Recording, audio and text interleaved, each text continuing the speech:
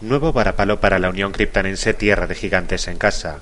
Los chicos de León Pintado, aún firmando un excelente partido ante el Daimial Racing Club, no pudieron hacer nada frente a sus rivales y cayeron en el Agustín de la Fuente por 1 a 3.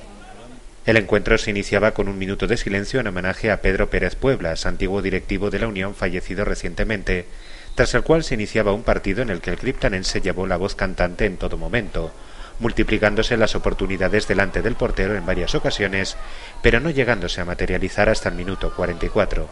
En las postrimerías de la primera parte, Sergio Madrid, tras un pase largo desde el medio campo, aprovechaba su posición frente al portero y lograba endosar el primer gol del encuentro. Con el 1-0 a favor se inició la segunda parte en la que la Unión no pudo mantener la ventaja y solo le llegaron goles en contra tras varios errores de la defensa blanquinegra. El primero en el minuto 65, obra de Ramón Clemente, también traspasa en largo desde medio centro.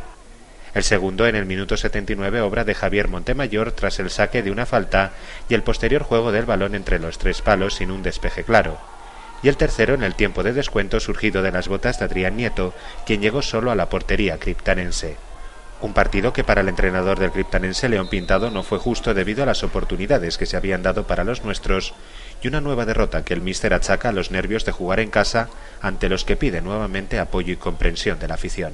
Tenemos que ir partido a partido. La verdad es que ves el partido hoy y me parece que es, eh, el fútbol es muy injusto porque perfectamente podíamos haber ganado 6-3. Bueno, es que hemos tenido por 7 ocho ocasiones solo delante del portero, no de estar de que pasando solo delante del portero, pero bueno, al final luego nos hemos venido un poquito abajo.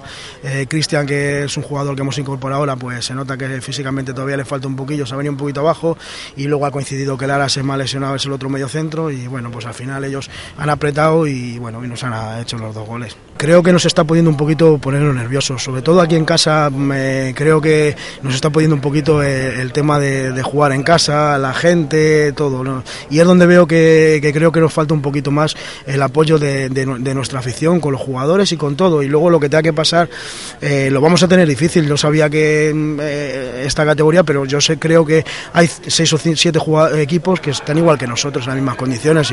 Tras el partido, el Daimiel se hizo con el liderazgo del grupo y el Criptarense bajó hasta la decimoséptima posición con 15 puntos.